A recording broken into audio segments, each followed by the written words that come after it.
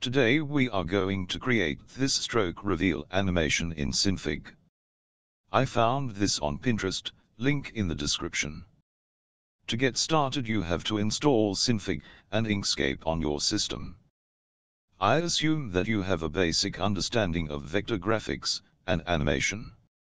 You can download this SVG file from the link in the description. To open the Layers panel press Shift and Ctrl and L, you can see that there are three layer groups in our SVG files. You can hide and see what's inside them.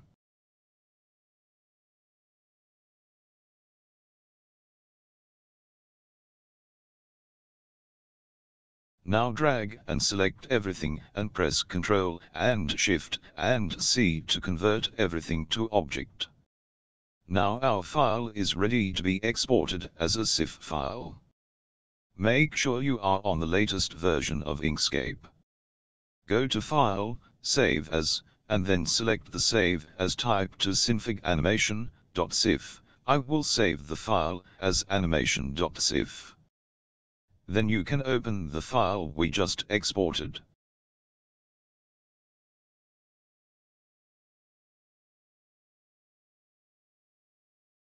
I am using dark theme for Synfig. To enable dark theme you can go to Edit, Preferences, Enable Dark Theme. In the bottom right hand side you can see the Layers panel. It will have the same layers as the group that we have created in Inkscape. You can see the layers by clicking on them. We need two plugins for this project, go to the link in the description, download them and extract them to the plugins directory for your system.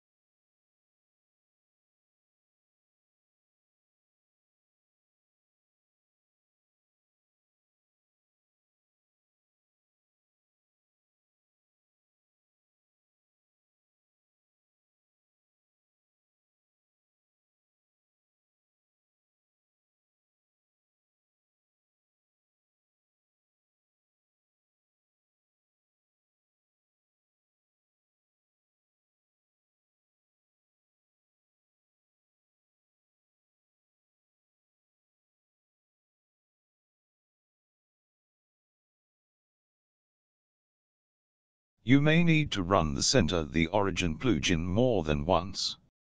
You have to run the plugins. These plugins will be useful for you, and will be used in my further tutorials.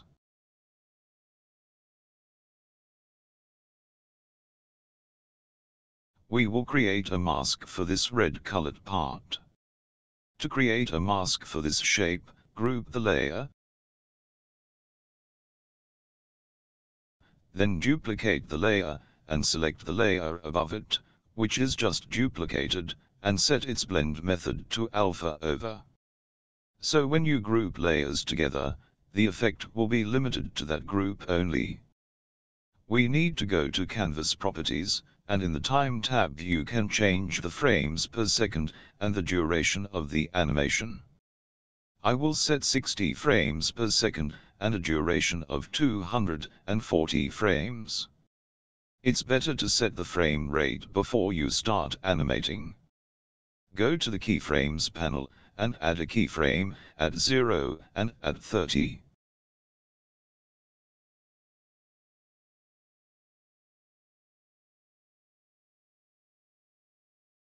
Now we will start animating, First click on toggle width handles and then turn off all other handles except the vertex handle and origin.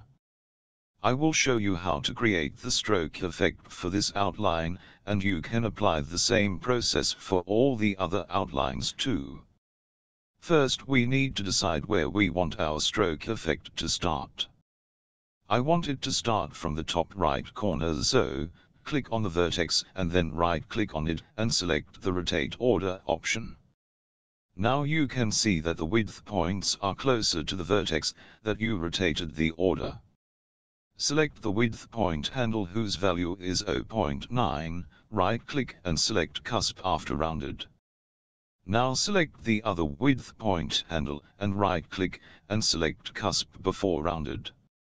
Now in the Parameters tab you can see a list parameter called width point list, right-click on it and select loop. Set the position parameter of both width points to 0.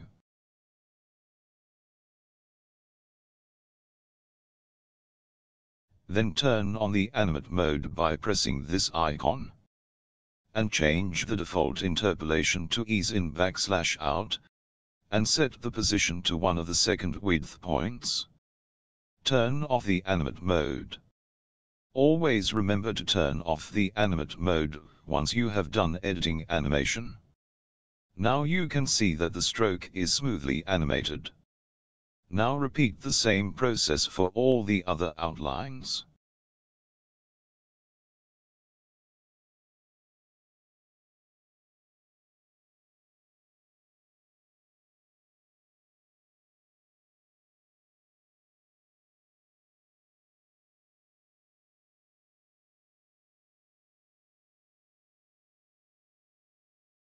After keyframing everything your animation will look something like this.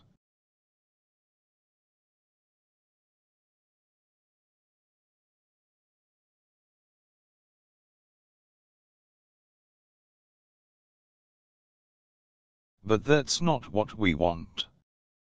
We want the stroke to be revealed one by one and have a delay between them. Now we will delay the animation for each outline. First of all I want this to be the first to get revealed, and then this outline. So we will just leave the first layer, as it is, and then select the second layer, and you can see there are two waypoints. To go to the position of the last waypoint, just right-click on it, and then select the jump to. This will move your timeline cursor to that waypoint. To select multiple waypoints, hold Ctrl, and click on the waypoints and then just drag the keyframes, so that the first keyframe is at the position of the timeline cursor. Repeat this step for all outlines.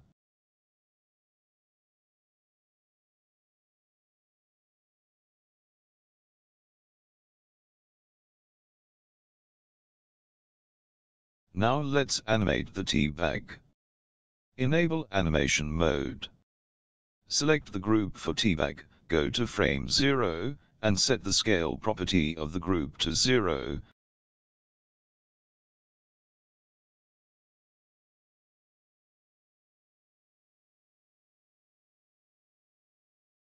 Now go the group and select the mask layer.